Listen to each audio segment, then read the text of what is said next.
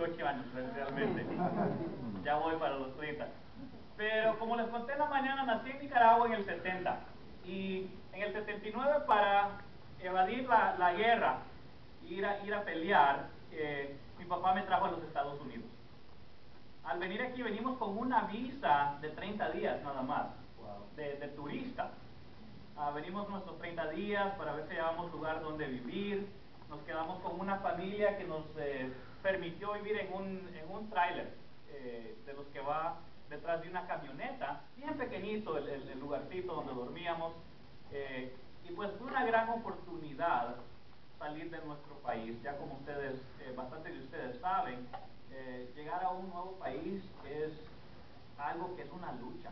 Primero ahorrar el dinero para poder venir, para pagar el pasaje, eh, agarrar la visa, todo lo que se tiene que hacer para salir de nuestros países toma mucho esfuerzo, toma mucha fe, dejar lo que uno conoce para venir a lo desconocido.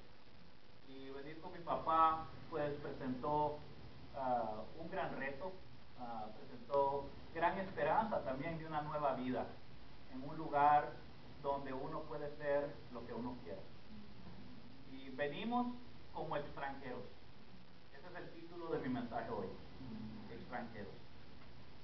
Venimos y caímos en una ciudad que se llama Maywood, en el sur de Los Ángeles. Está llena de pandillas. Pero comparado a donde veníamos, fue un lugar increíble. Calmo. Tal vez eh, mataban una gente a la una persona a la semana, pero donde, donde vivíamos antes de Nicaragua, mataban a muchos cada día. Y llegábamos, después de 30 días, se nos venció nuestra visa de turista. ¿Qué vamos a hacer? Decíamos. Y acababa de empezar mi papá un trabajo eh, trabajando con herramientas pesadas.